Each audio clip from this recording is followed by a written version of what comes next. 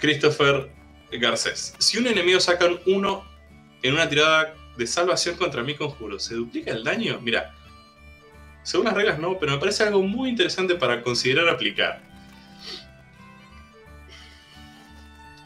De hecho,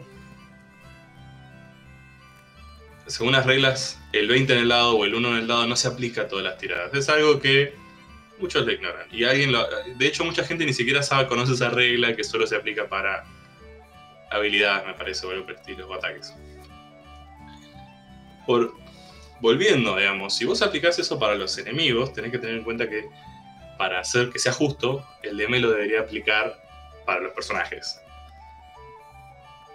Y suena divertido cuando tu enemigo puede sacar un 1 en una tirada de salvación y decís, oh no, sufrió, qué sé yo, en vez de 25 50 daño eléctrico. Ahora, si se lo aplicas a ellos y se lo aplicas a tus aliados y en el momento que alguien saca un 1 en una tirada de bola de fuego, suena peligroso. Pero no, eh, por las reglas, según, según las reglas, no. Pero está interesante para analizar como regla de casera. Como jugar así, bien, bien hardcore. Una duda, ¿se puede lanzar un hechizo de reacción de ataque por un hechizo de reacción de otro jugador o enemigo?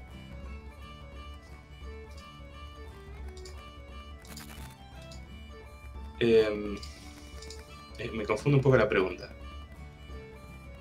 Si vos podés lanzar un hechizo de reacción tuyo. Los hechizos de reacción tienen. Eh, la idea es que se activan cuando sucede algo. Por ejemplo, el hechizo, ay, me lo sé en inglés, es de Warlock, de brujo, que es el Hellish Rebuke, que dice cuando te pegan, vos podés devolver daño con magia. Entonces, se va a activar cuando vos recibas el ataque. Si alguien te ataca y vos tenés un hechizo para reaccionar a eso, se activa. Ahora, si te tiene un hechizo y tu hechizo reacciona a eso, también se activa. Así que, si es así, espero, espero haber respondido la pregunta.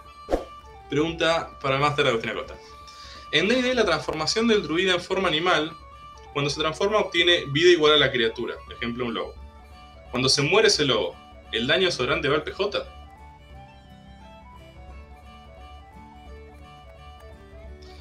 Si tu druida se transforma en un lobo y el lobo muere, muere el druida. No. Es lo que yo entiendo, digamos, porque cuando se transforma obtiene vida igual a la criatura. Claro, es así, vos asumís esa forma y no importa qué animal seas, va a seguir siendo tu druida. Y si se muere, se muere. Eh, ahí llega. Estefano Argento. Muy buenas DM. Tengo tres preguntas para hacerle. Primero quiero saber cómo funcionan los golpes desarmados, porque he leído y tengo entendido que son uno más la fuerza hago esta pregunta sobre todo porque un amigo nos había dicho que los golpes armados son dados iguales a la clase principal, en mi caso es el guerrero. Y esto nos dio como resultado que una vez casi mato a un gnomo de una piña en la cara sin querer. Y saqué un 10 en el... Claro, no. El único personaje que... Bueno, hay algunas razas que te mejoran el golpe desarmado, pero el monje es el que tiene... El monje es el único que tiene daño real con las manos. Todos los demás tienen la capacidad de hacer un, golpe desarmado, pero no es con el dado de la vida, porque si no el bárbaro pega un de 12. Eh, de todas maneras, es uno más el bonificador de fuerza. Eso es, correcto. Segunda pregunta. Si tengo estilo de combate, combate con armas grandes, y el dote es combatiente con dos armas. Se aplica el beneficio del estilo de combate si usa una mandoble en cada mano. Bien. una mandoble en cada mano es difícil. Porque... Eh, vamos a leer la regla de combate con dos armas. Para, estar seguro. Pero porque vos querés llevar una espada gigante en cada mano e ir corriendo hacia los enemigos. Suena re peligroso. Ah, la realidad es que vos no podés llevar una, super espada en cada mano, ni un super martillo, ni un super mazo. Lo que hace eh, el, combate con armas grandes sería es eh, re-rolear el daño, nada más. Eh, en el caso de que vos logres ir corriendo con dos, espadas gigantes, eh, serían ligeras, serían la misma espada. Y si, y, si las armas tienen la categoría que requiere la dote, en este caso arma, gran arma, debería aplicar la regla. Oscar YouTube. ¿Un druida puede cambiar su forma animal estando abatido? ¿Un bárbaro puede usar furia estando abatido? Eh, la respuesta rápida es no a ninguna de las dos. Porque estando tirado no podrías hacer nada más que esperar que te salven. La idea sería que vos no puedes tomar conscientemente ninguna acción. Frailandes. Buenas DM. ¿Hay algún círculo druida que se transforme en insecto? No, pero debería. Me gusta lo que estás pensando. Lo que sí está el círculo de las esporas, que como que tenés hongos, sos como un druida de la podredumbre, y tenés un aura de esporas que te gira y te protege y lastima a los otros. Ese está bueno. Ese druida de las esporas salió en Ravnica, si no me equivoco. Mateo M. Si un mediano es un guerrero montado, se sube a los hombros de un bárbaro, ¿contaría como combatir montado? no. No, lamentablemente no, pero sería buena idea. Lo que sí podían hacer es agarrar un lobo, eh, un canguro, algo por el estilo. Tal vez algún animal que tenga patas grandes, un bolsillo y salte mucho, puede servir como montura. Doble sided. Che, ¿está mal subir el máximo monje? ¿La fuerza? No, para nada. Vos podés hacerlo como quieras. Si te gusta por fuerza, dale por fuerza. Es un monje musculoso que va para adelante pegando piñas. Si te gusta más el clásico por destreza, también está bien. Psicólogo Carlos Gutiérrez. Maestro, se me ocurrió algo muy raro. ¿Cómo haría usted todas las razas híbridas, semi-enano, semi-harley, semi-ño? Me imagino que humanos se sentirían atraídos por todas esas razas y no solo elfos y orcos. ¿Cómo armaría los rasgos raciales? Siempre, siempre para mí fue un conflicto esto del semi-elfo, semi-orco, el semi lo que sea. La verdad que lo, lo ideal sería agarrar el semi-elfo como, como base, porque es directamente la unión de dos razas así que ya están como para, para, elegir el juego y de ahí tratar de armar rasgos similares para las otras mezclas. Había un manual de D&D 3.5 que, que hablaba sobre toda esta parte. Era un manual medio oscuro, perdido, si lo encuentran suerte, eh, que hablaba sobre las diferentes combinaciones de, las diferentes razas. Yo ni me acuerdo que tenía. ¿El Draconomicon que tengo 3.5 me sirve para quinta? Sí, tenés que traducirlo bien. Están en, los manuales están la, forma de traducir.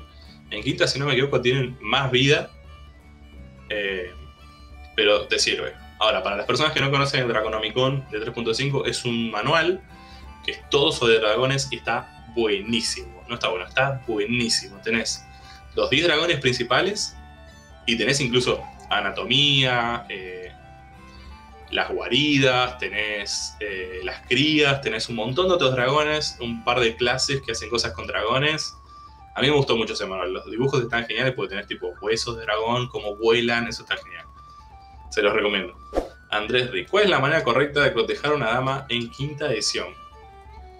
En quinta edición se eliminaron las tiradas de persuas de, de seducción por una cuestión de que no le sumaban absolutamente nada al juego ya que esa interacción social es un poco más complicada. Y dejarla en los dados genera más situaciones de, de,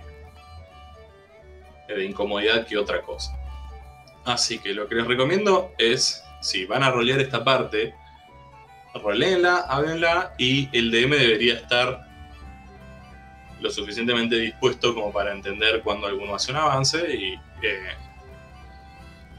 ver cómo reaccionaría su NPC. Se pueden hacer una suerte de tiradas para ver si le cae mejor o no. Eh, podría usarse persuasión. Pero la verdad que tirar un dado y ver qué sale es medio ridículo en esa situación. Así que la mejor manera es roleando. Notzak Bell. ¿Podrías explicar acción astuta del ladrón? Dice que puede hacer una prueba de destreza para desactivar una trampa, pero también para usar objetos. ¿Cómo aplicaría eso? la CD le inventa el DM o son separadas. La idea es que las, dificultades de las trampas el DM las debería tener, si el, DM eh, si el ladrón quiere usar su acción bonus en su turno para desactivar una trampa, el DM debería tener la dificultad de la trampa para, para que el ladrón tire y saber si falla o no. Y para usar objetos, depende del objeto que use. Por ahí se toma una poción, entonces no hay ninguna dificultad. Pero si usa otro objeto, el DM debería tener, o debería tener la dificultad del objeto si va a afectar algo, o debería improvisar lo suficiente bien para que no se note que no lo sabe. Máximo López. León, quiero usar el conclave de las bestias. ¿Qué acción divertida le puedo dar a mi mascota? Saltar muy lejos. a mí me gustan los canguros. Kadar. El hechizo Time Stop. Congela el tiempo en un área determinada o congela el tiempo globalmente. ¿Qué pasa si dos individuos que no están en el mismo encuentro tiran Time Stop al mismo tiempo? Vamos a leer Time Stop. D&D, Time Stop.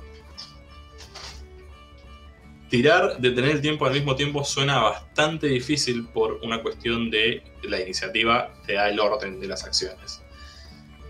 Eh, según según lo que dice el, hechizo, vos detenés el tiempo, el flujo del tiempo brevemente alrededor tuyo para todos los demás excepto para vos. Y de la última línea del hechizo es, el hechizo se termina si vos te moves del lugar más de mil pies. Así que, ¿podríamos deducir que afecta a todos? No, porque si vos te alejas del lugar, esto sigue. O sea, esto se detiene. Se, borra el efecto. Y si dos personas lo lanzan al mismo tiempo,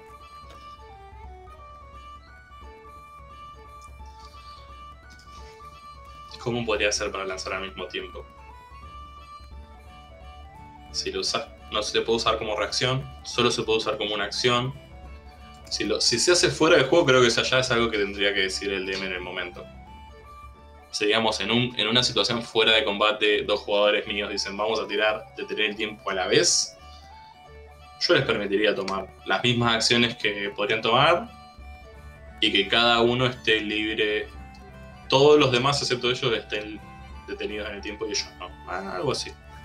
Aplicaría las mismas reglas, solo que si es en el mismo momento los dos están como en esta, este estado fuera del tiempo o algo así pero es algo absolutamente en manos del DM del momento. Catalina Pizarro, ¿cuál es el conjuro más poderoso a niveles bajos? no tengo ni idea. Em, en cuanto a daño, solo, solo, se me viene Eldritch Blast, pero porque es un cantrip que hace un de 10. No, no se me ocurre otro. O sea, es el nivel más bajo y es un daño muy alto. Creería que es. Gracias por la pregunta, estuvieron buenísimas. Nos vemos en el próximo stream.